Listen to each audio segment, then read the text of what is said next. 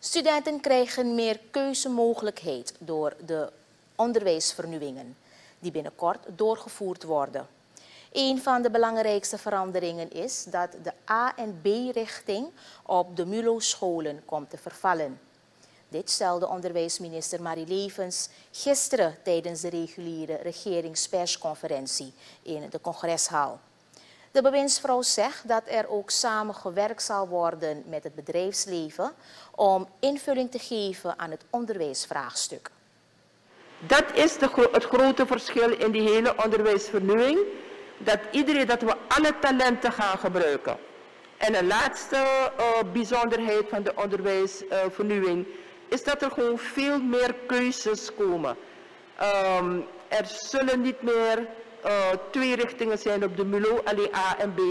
Maar er wordt langzaam gewerkt naar vele richtingen uh, in uh, het voortgezet onderwijs. En het voortgezet onderwijs begint direct na leerjaar 8, dat we zeggen onze zesde klas. begint het voortgezet onderwijs al. Zij het dat wij nu ook aan de MULO-leerlingen oriëntatie gaan geven in beroepen. Levens zegt verder dat er binnen de samenleving geen onduidelijkheid hoeft te zijn over de herstart van de scholen.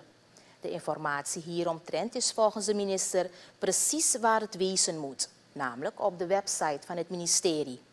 De bewindsvrouw is van mening dat de niet-schoolgaanden slecht geïnformeerd zijn over de ontwikkelingen binnen het schoolgebeuren.